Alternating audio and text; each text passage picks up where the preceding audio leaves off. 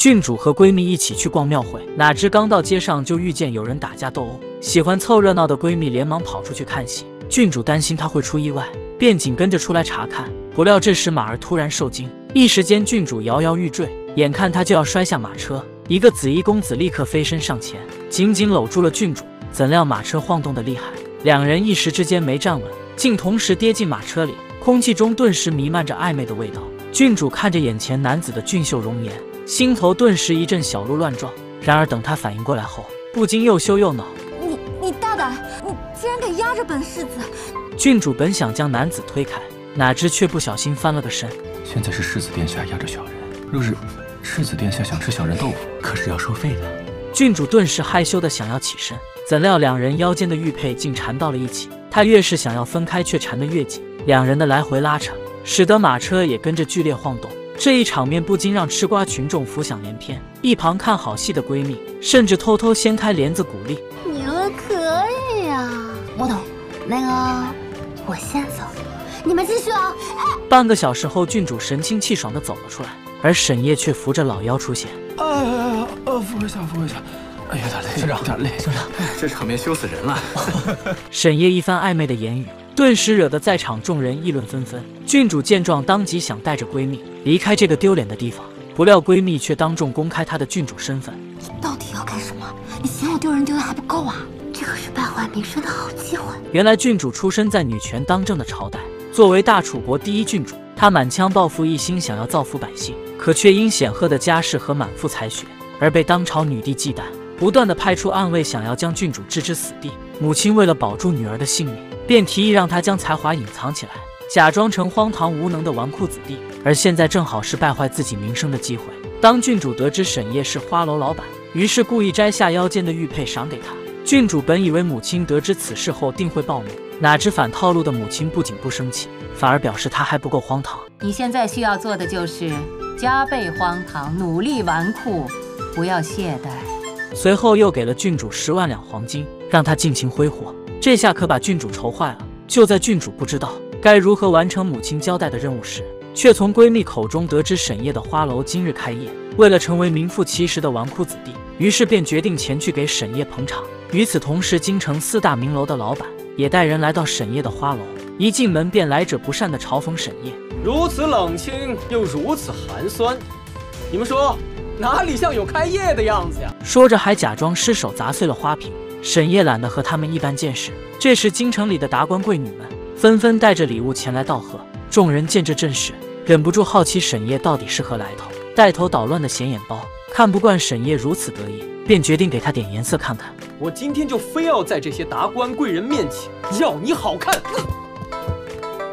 你又敢打我！就在这时，郡主及时赶到，众人连忙恭敬迎接。财大气粗的郡主一声令下，当即让人抬上来两大箱子金银珠宝。今晚所有开销都算我的。随后，郡主表示自己与沈夜并不相熟，可偏偏就是喜欢他，想为他花钱捧他做花魁。也请各位要多多照顾这里的生意，对他好，便是对我好。旁人都以为清高的大楚第一郡主这次终于沦陷在沈夜的裙摆之下，殊不知这正是郡主的目的。她只有把好名声败坏完，达到母亲的要求。才能让自己的生活恢复正轨，可母亲却还是不满意。你应该更加努力的败坏名声，直到我真的无法忍受，你方可达成所愿。郡主虽然很不情愿，可也只能遵命行事。回去的路上，郡主回想起刚刚和母亲的对话，为了掩人耳目，母亲故意提点了慕容家。郡主顿感不妙，连忙带了一队人马赶到慕容家救人。慕容婉清在哪儿？郡主不顾一切地闯进慕容家。当他看到满身伤痕的婉清时，心中顿时内疚不已。如果不是因为自己，闺蜜也不会受此伤害。就在这时，慕容家主闻讯赶来，郡主毫不留情地质问：“就因为她不是你亲生的，你要打死她吗？”慕容家主本想反驳，但碍于郡主的身份，也只能隐忍下来。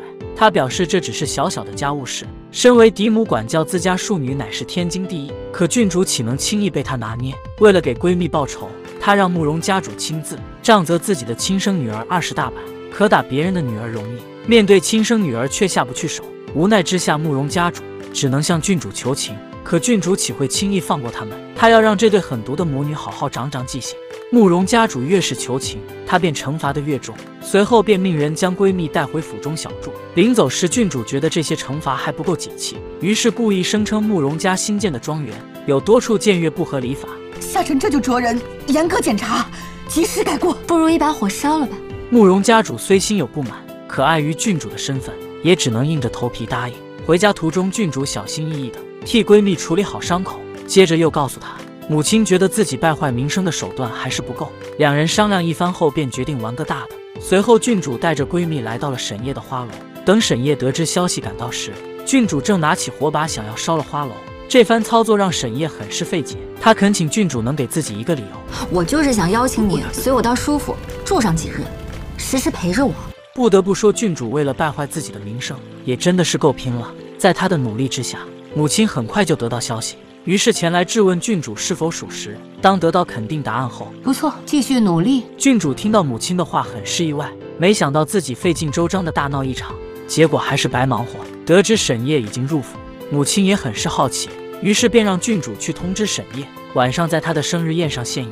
然而郡主刚一走进园子，竟看到沈夜带着漫天花雨从天而降。然后一把抱住他，来了个爱的魔力转圈圈。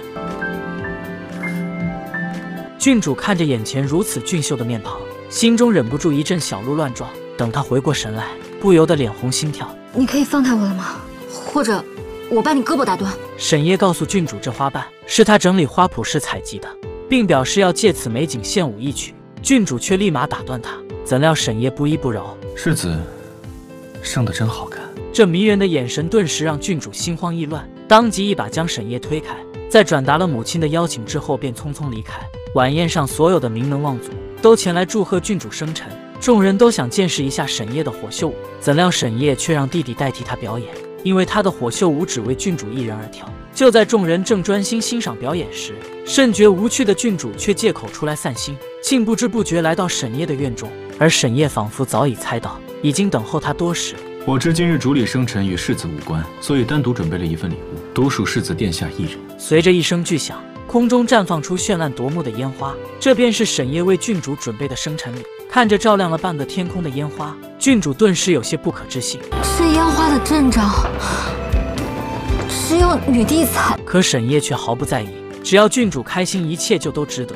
随后，在漫天烟花的照应下，沈夜为郡主献上精心准备的火秀舞。就在正看得痴迷时，沈夜竟一把将她拉入怀中，周围顿时弥漫着暧昧的气氛。不久后，女帝因为忌惮舒家的势力，便下旨将自己的亲信苏荣清赐给郡主成婚，目的就是让苏荣清深入舒家内部，趁机夺回兵权。可郡主得知后却誓死不从，怎料女帝竟从她的闺蜜下手，随便给婉清安了一个罪名，把她关进大牢，打得遍体鳞伤。传朕口谕，先杀慕容婉清。后诛慕容满门。为了救回闺蜜性命，郡主只能答应女帝的赐婚。母亲深知女帝想借此次联姻，以此来制约和削弱舒家，便让郡主婚后设计将苏荣清杀死。可郡主知道苏荣清是无辜的，不想眼睁睁看着他枉死，于是半夜偷偷溜进苏府，向苏荣清说明来意，请求他主动退婚。此时的郡主怎么都想不到，苏荣清就是沈夜。面对郡主的请求，沈夜突然想逗逗他。那若是在下不肯呢？舒城心中确实另有他人，实在不敢辜负公子。那他是何人？一个欢楼的小官。沈夜没想到郡主竟然如此坦白，忍不住笑出了声。郡主看着帐内的身影，不由得起了疑心。就在他刚准备掀开帘子查看时，就被人一把拉了进去。怎么是你？郡主看着眼前的男人，顿时大吃一惊。她怎么都没想到，沈夜和苏荣清竟是同一个人。本以为得知真相的郡主会接受赐婚，可她却压根高兴不起来。郡主十分清楚，母亲为了舒家一定会除掉苏荣清，而苏荣清又不愿意退婚。为了救心爱之人，郡主只好当众抗旨拒婚。她的胆大妄为惹得女帝勃然大怒，当即下令将她打入天牢。岂有此理！公然抗旨，胆大包天！他们就不怕朕斩了他们满门吗？可即使女帝如此震怒，但碍于舒家的权势，也不好过于惩罚。于是便让大公主去劝劝郡主，同时交代她不要把事情闹大。哪知大公主压根没把女帝的话放在心上，刚到牢里就耀武扬威的拿起鞭子。前来送饭的晚清看出大公主的意图，立刻上前为郡主求情，不料却被大公主一脚踢到柱子上，当即撞得头破血流。好不容易有了折磨羞辱郡主的机会，大公主又岂会轻易放过？晚清还想为闺蜜求情，可大公主为了巩固自己的储君之位，她早就想杀了郡主以绝后患。正好，那我送你们两个一起。郡主能否化险为夷？她和沈夜的婚事又能否顺利进行？关注时光，一起追剧吧。